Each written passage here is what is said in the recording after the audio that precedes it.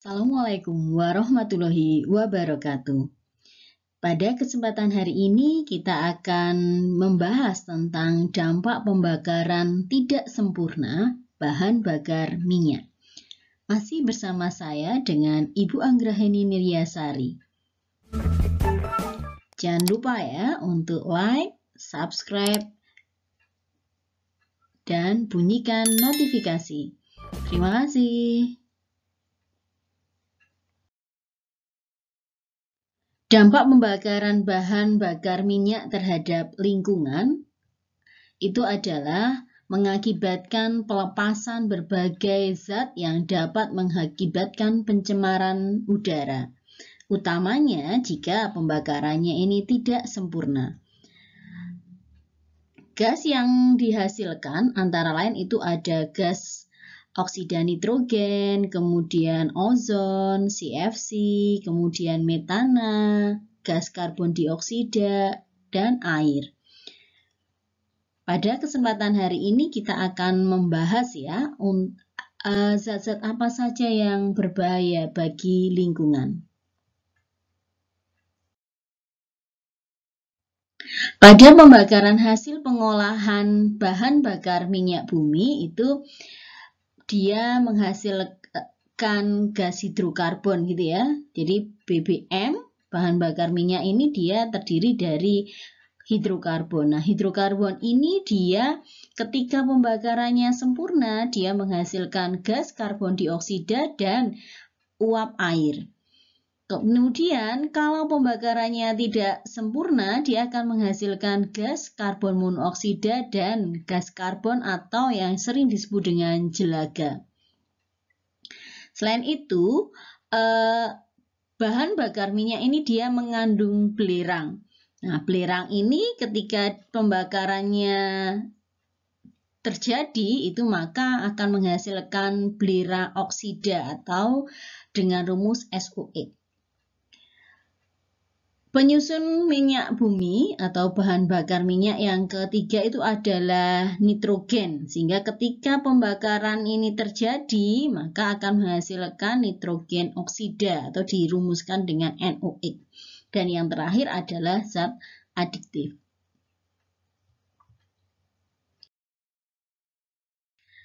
Nah, hasil pembakaran yang dilakukan oleh bahan bakar minyak dan batu bara ini dia mengakibatkan polusi udara. Bisa dilihat ya e, dari industri kemudian dari kendaraan bermotor e, ketika dia melakukan pembakaran gitu ya itu dia akan mengakibatkan polusi udara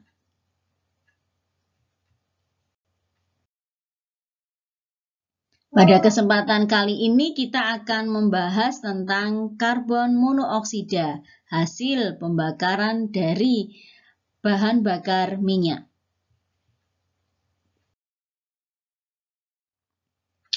Karbon monoksida atau yang dirumuskan dengan CO itu dia bersifat tidak berwarna, tidak berbau, tidak berasa, dan tidak merangsang maka uh, kita itu sulit mendeteksi keberadaannya gitu ya.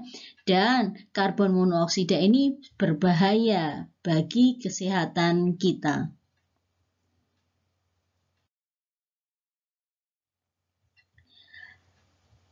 Pada kadar rendah, dia dapat menimbulkan sesak nafas dan pucat. Pada kadar yang lebih tinggi, dia dapat menyebabkan pingsan dan kadar yang lebih dari 1000 ppm itu dia dapat menimbulkan kematian. Nama kematiannya adalah mati lemas. Nah, kenapa? Karena dia dapat membentuk senyawa dengan hemoglobin membentuk HbCO yang merupakan racun bagi darah. Kenapa? Karena ketika HbCO ini dia diedarkan ke seluruh tubuh dan ke otak, itu harusnya kan yang diedarkan adalah HBO. Tapi karena yang diedarkan HbCO, nah inilah yang mengakibatkan uh, sesak nafas, pucat, pingsan, sampai kematian.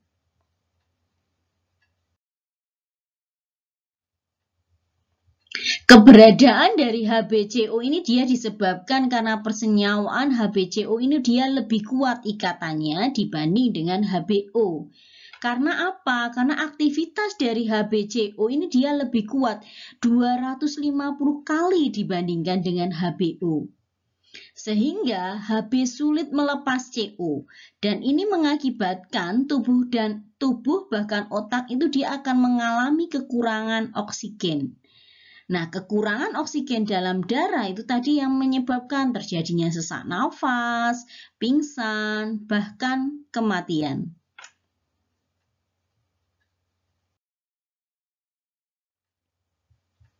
Sumber keberadaan dari gas karbon monoksida itu berasal dari pembakaran yang tidak sempurna dari bahan bakar minyak atau BBM, dari batu bara, dari proses industri, dari pembakaran sampah, dari pembakaran hutan, kapal terbang, dan masih banyak lain-lain ya. Yang penting ketika dia ini berasal dari minyak bumi umumnya, itu dia akan menghasilkan, ketika pembakarannya tidak sempurna, dia akan menghasilkan gas karbon monoksida.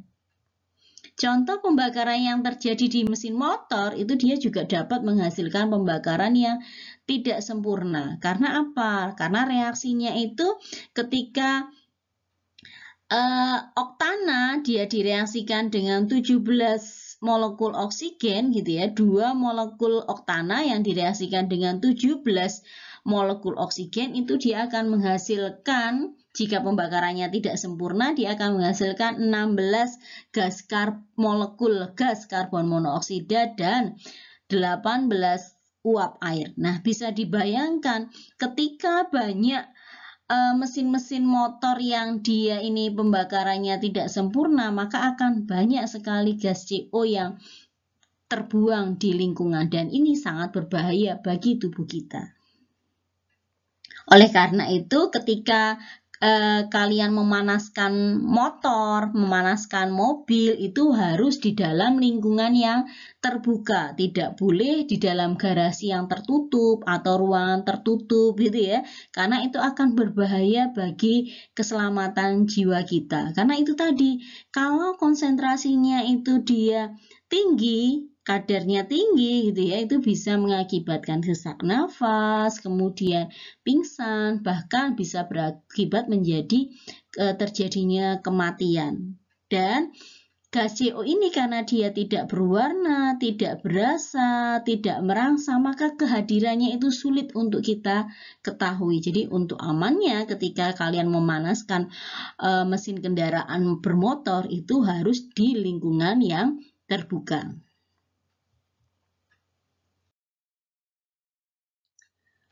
Para ahli kemudian mencoba mengembangkan alat yang berfungsi untuk mengurangi banyaknya gas karbon monoksida dengan cara merancang alat yang disebut dengan catalytic converter.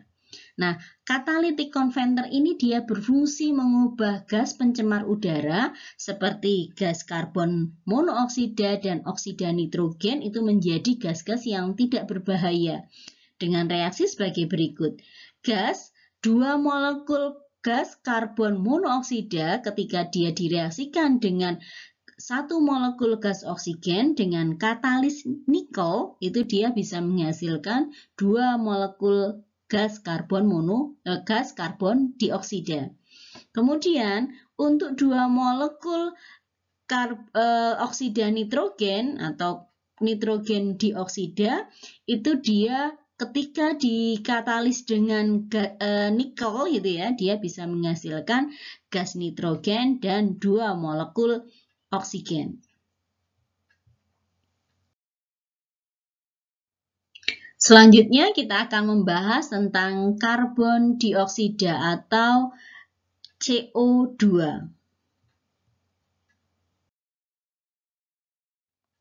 Karbon dioksida atau gas CO2 itu dia merupakan hasil pembakaran sempurna dari bahan bakar minyak bumi, dari batu bara, dan respirasi makhluk hidup.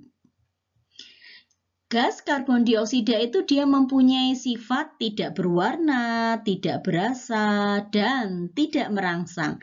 Hampir sama dengan ciri-ciri dari gas karbon monooksida.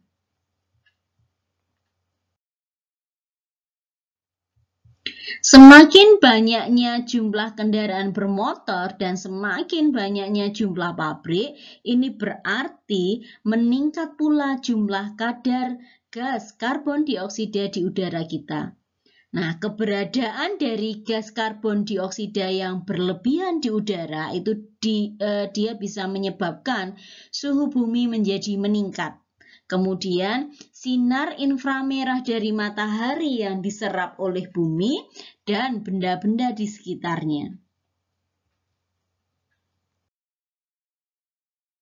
Ketika radiasi matahari ini dia masuk ke bumi gitu ya. Kemudian uh, panas matahari atau radiasi dari sinar matahari ini dia akan diserap oleh bumi. Nah, gas yang muncul atau yang dihasilkan dari pembakaran itu tadi ada gas karbon dioksida, metana, kemudian di nitrogen monooksida, ada ozon, ada CFC gitu ya. Ini mengakibatkan emisi dari IR-nya itu dia juga akan diserap oleh bumi. Kemudian remisi dari IR ini dia menyebabkan pemanasan pada atmosfer karena dia tidak bisa uh, keluar dari bumi atmosfer, dia akan kembali lagi ke bumi. Sehingga mengakibatkan ada apa berlebihnya kadar CO2 ini di udara meningkat gitu ya dan berakibat kelebihan sinar inframerah atau IR itu dia tidak dapat kembali ke atmosfer karena terhalang oleh lapisan CO2 yang ada di dalam atmosfer gitu ya. Nah, ini akan berakibat suhu di bumi ini dia akan semakin meningkat gitu ya. Nah, meningkatnya suhu bumi ini dia mengakibatkan pemanasan global. Adanya greenhouse effect ini dia menyebabkan suhu di bumi itu dia meningkat gitu ya. Meningkatnya suhu bumi ini mengakibatkan pemanasan global. Nah, ketika pemanasan global baik siang maupun malam hari itu tidak menunjukkan perbedaan yang berarti, bahkan dapat dikatakan suhunya sama. Nah, apa dampak pemanasan global bagi lingkungan kita? Ada banyak sekali dampak pemanasan global. Apa saja? Yang pertama, mencairnya gletser. Nah, mencairnya gletser ini sudah dialami pada tahun 1985 uh, es ini dia masih terlihat gitu ya. Tapi ketika mulai 2002 ini di kutub utara ini uh, jumlah esnya ini semakin menusuk gitu ya. Nah, ini uh, menciptakan banyak masalah bagi manusia dan hewan yang hidup di bumi. Bisa dilihat juga pada tahun 1859 ini kutub utara ini masih dipenuhi es. Tapi ketika di tahun 2001 itu kutub esnya ini sudah banyak yang uh, berkurang gitu ya. Nah, hal ini mengakibatkan apa? Kenaikan permukaan air laut gitu sehingga berpotensi menyebabkan banjir di mana-mana gitu. Nah, yang kedua itu adalah naiknya permukaan laut. Akibat apa? Akibat gletsernya ini dia mencair. Mencairnya es di kutub dan berkurangnya air yang menguap ke atmosfer ini menyebabkan permukaan laut naik. Kerusakan banjir ini mulai menenggelamkan kota dan pesisir pantai. Yang ketiga itu adalah perubahan iklim dan musim. Pola cuaca menjadi tidak teratur, peningkatan curah hujan dalam bentuk hujan itu telah diketahui di daerah kutub dan gurun. Padahal harusnya di daerah kutub dan gurun ini dia sangat jarang terjadi hujan. Selanjutnya, hewan dan tumbuhan ini dia menjadi tidak dapat mudah beradaptasi dengan peningkatan curah hujan. Tanaman dapat mati dan hewan dapat bermigrasi ke area lain gitu ya. Hal ini mengakibatkan ekosistem menjadi berubah secara total bahkan secara cepat. Perubahan periode musim yang lebih panjang atau pendek itu uh, misalnya ya uh, mudah sekali terjadi kekeringan, kemarau gitu ya. Kemudian selang beberapa waktu uh, muncul musim semi. Tapi yang paling panjang itu biasanya adalah terjadinya kekeringan. Musim semi, musim gugur, musim hujan itu bisa terjadi lebih cepat dan lebih cepat atau lebih lama dan lebih lama. Jadi sudah tidak bisa diperhitungkan.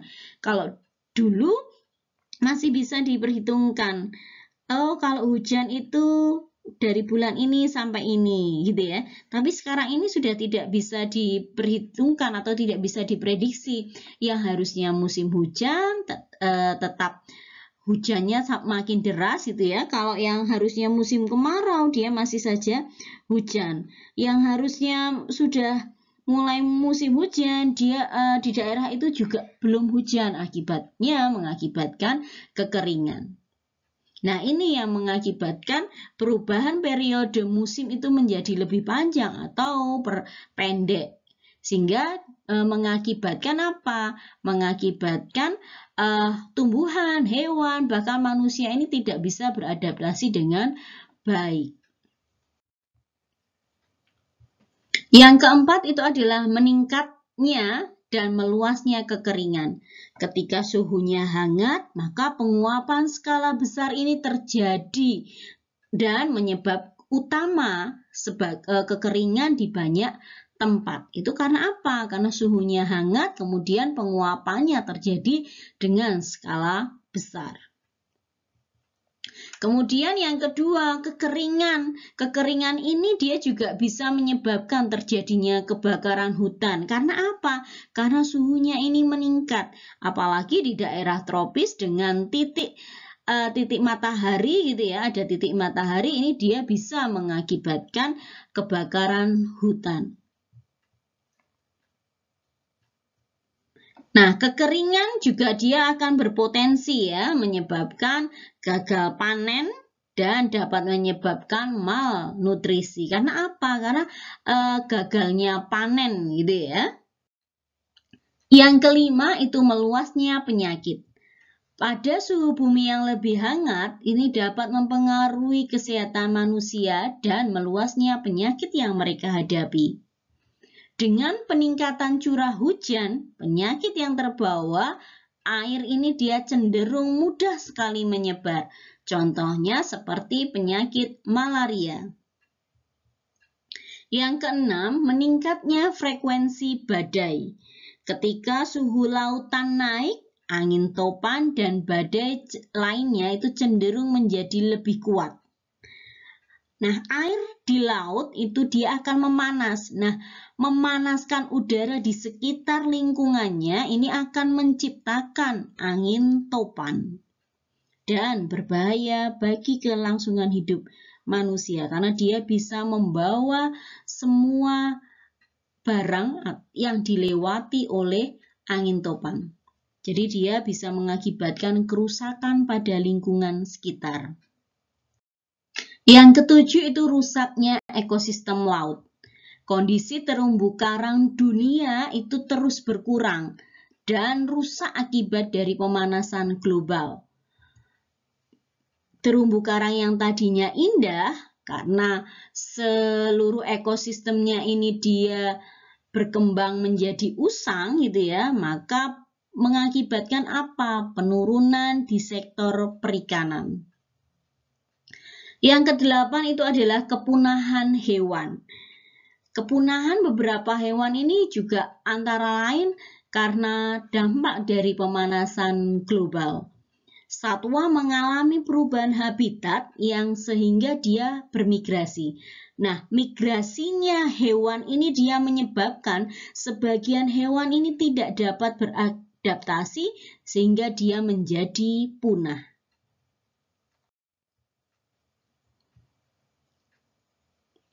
Sekarang, bagaimana solusi untuk mengurangi dampak pemanasan global? Untuk mengurangi dampak pemanasan global, itu dengan cara mengurangi jumlah gas karbon monoksida di udara. Nah, Bagaimana caranya? Maka kita perlu melakukan upaya-upaya. Yang pertama, kita melakukan penghijauan, gitu ya. Menanam pohon kembali di daerah-daerah yang uh, hutan gundul, gitu ya. Kita melakukan reboisasi. Kemudian yang ketiga, kita memperbanyak taman kota. Fungsinya apa? Agar gas karbon dioksida di udara itu bisa terserap oleh daun hijau. Daun hijau dia akan menarik karbon dioksida dan dia akan melakukan fotosintesis. Nah, perlu diingat lagi e, ketika dia melakukan kegiatan fotosintesis itu dia akan menghasilkan gas oksigen. Nah, ini yang bisa kita lakukan untuk mengurangi jumlah karbon dioksida. Yang keempat adalah mengelola hutan dengan baik gitu ya. Ketika menebang pohon di hutan maka kita juga harus menanam kembali pohon yang dita, uh, yang ditebang gitu ya. Misalnya kamu punya kebun yang biasa ditanami dengan pohon-pohon keras ketika kamu sedang e, memanen pohon-pohon keras itu untuk dijual, itu sebaiknya juga kamu menanam kembali. Tidak hanya menebang, tetapi juga harus menanam kembali pohon agar apa? Agar jumlah karbon dioksida ini menjadi berkurang.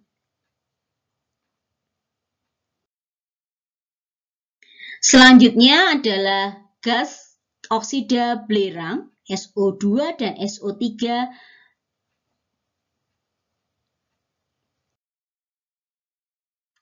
Oksida belerang itu dia mempunyai sifat khususnya untuk belerang dioksida. Sifat yang pertama adalah sifatnya dia tidak berwarna, dia berbau yang sangat menyengat dan dapat menyebabkan sesak nafas meskipun dalam kadar rendah. Gas ini dihasilkan dari reaksi oksidasi dari reaksi pembakaran belerang yang terlarut dalam bahan bakar minyak bumi. Pembakaran belerang yang terkandung dalam biji logam yang diproses pada industri pertambangan ini juga akan menghasilkan gas oksida belerang.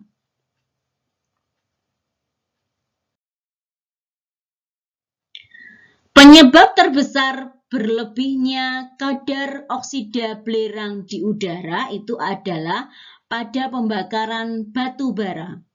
Akibat yang ditimbulkan oleh berlebihnya oksida belerang itu menyebabkan hujan asam. Proses terjadinya hujan asam itu dapat dijelaskan dengan reaksi. Yang pertama, pembentukan asam sulfit di udara lembab itu dia menghasilkan asam sulfit. Kemudian gas SO2 itu dia dapat bereaksi di udara menghasilkan gas sulfur trioksida. Nah, gas sulfur trioksida ini dia akan larut dalam air dan di udara yang lembab dia membentuk asam sulfat yang lebih berbahaya daripada SO2 dan asam sulfit. Kenapa? Karena dia akan menghasilkan gas asam sulfat atau yang dikenal dengan hujan asam. Ketika polusi banyak mengandung oksida belerang dan pH-nya kurang dari 5, maka dia sangat korosif terhadap logam dan berbahaya bagi kesehatan. Menyebabkan hujan asam dan dia terserap ke dalam alat pernafasan masuk ke paru-paru, dia akan membentuk asam sulfit dan asam sulfat yang sangat berbahaya bagi kesehatan pernafasan, khususnya pada paru-paru.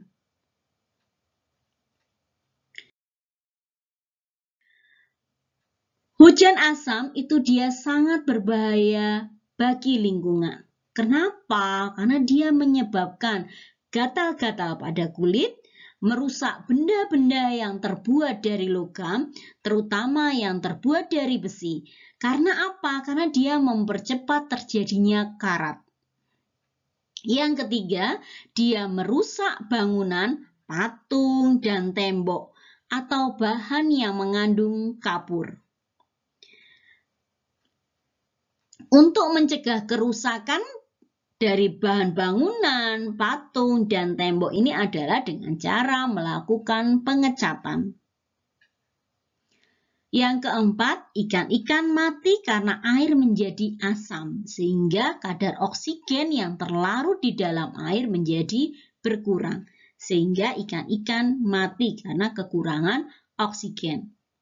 Yang kelima, tanaman menjadi tidak subur, bahkan mati. Akibat apa? Akibat perubahan pH tanah yang semakin asam.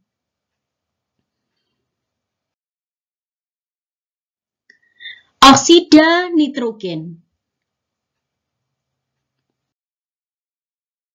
Oksida nitrogen itu memiliki sifat tidak berwarna, pada konsentrasi tinggi, dia juga dapat menimbulkan keracunan.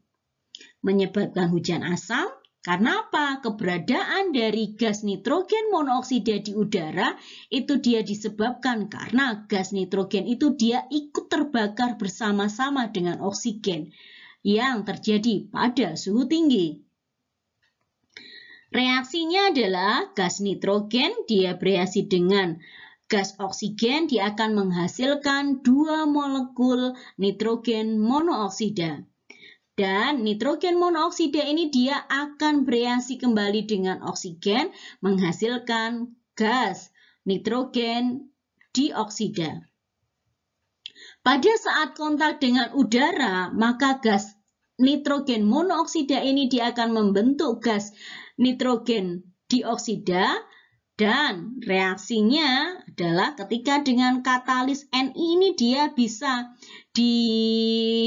diuraikan kembali gitu ya menjadi gas nitrogen dan gas oksigen dengan bantuan katalis nikel.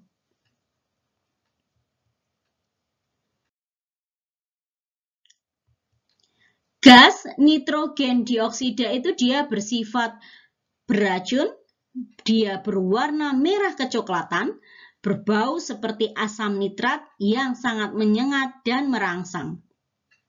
Keberadaan dari gas nitrogen dioksida yang lebih dari 1 ppm ini dia dapat menyebabkan terbentuknya zat yang bersifat karsinogen atau penyebabnya terjadi kanker. Jika menghirup gas nitrogen dioksida pada kadar 20 ppm, ini dia dapat menyebabkan kematian.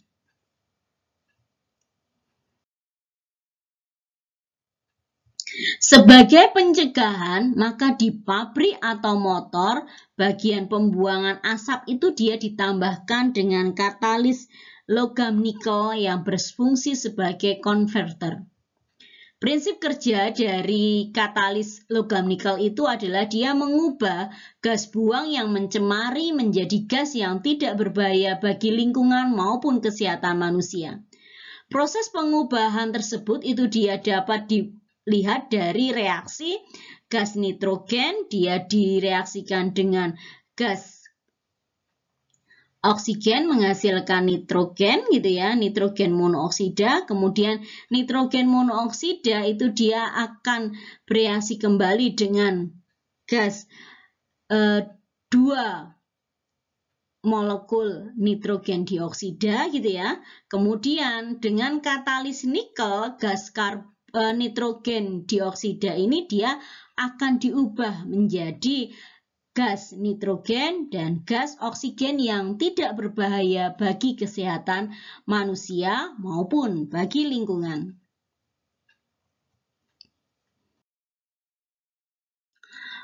Logam timbal atau PB Logam timbal atau PB itu dia dapat mencemari udara. Kenapa? Karena dia bersifat beracun yang jika masuk ke dalam peredaran darah dia dapat merusak saraf otak. Senyawa dari timbal itu adalah TEL atau tetraethylit yang sengaja memang ditambahkan pada bensin untuk menaikkan angka oktan. Nah, logam timbal yang terbakar itu dia dapat membentuk timbal oksida.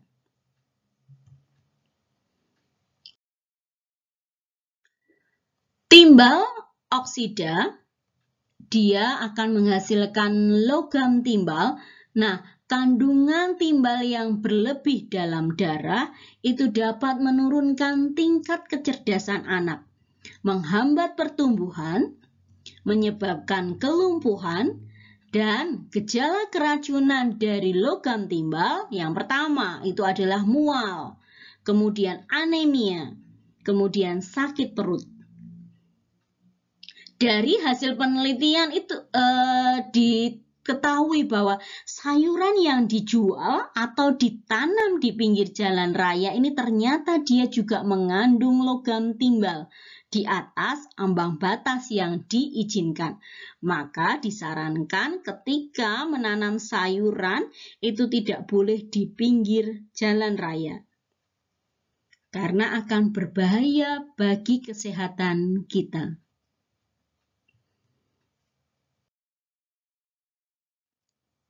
Yang terakhir adalah partikulat.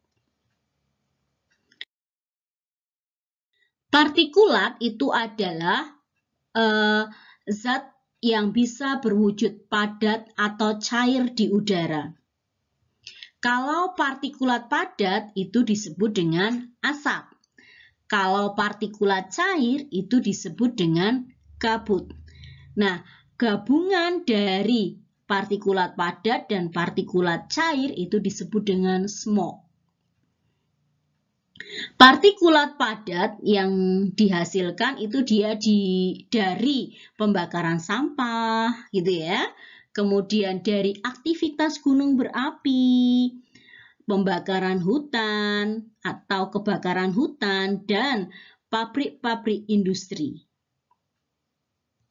Serta yang kelima adalah pembakaran bahan bakar terutama dari bahan solar dan batu bara.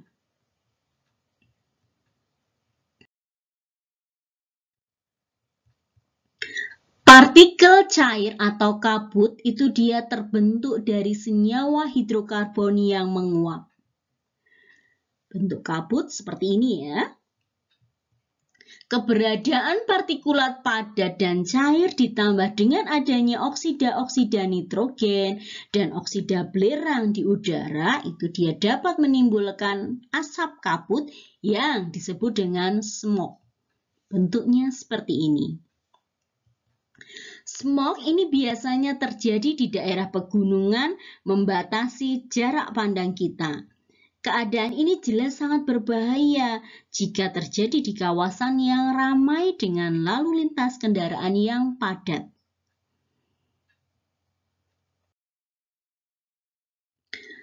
Ada langkah-langkah untuk mengatasi dampak pembakaran BBM terhadap lingkungan. Yang bisa kita lakukan adalah yang pertama, memproduksi bensin atau bahan bakar minyak yang ramah lingkungan tanpa zat adiktif timbal. Kemudian, penggunaan EFI atau Electronic Fuel Injection pada sistem bahan bakar. Yang ketiga, menggunakan konverter katalik pada sistem pembuangan kendaraan. Yang keempat, kita melakukan penghijauan atau pembuatan taman kota. Yang kelima, menggunakan bahan bakar alternatif yang dapat diperbaharui dan yang lebih ramah lingkungan. Seperti tenaga surya dan sel bahan bakar. Dan ini akan kita pelajari di video selanjutnya.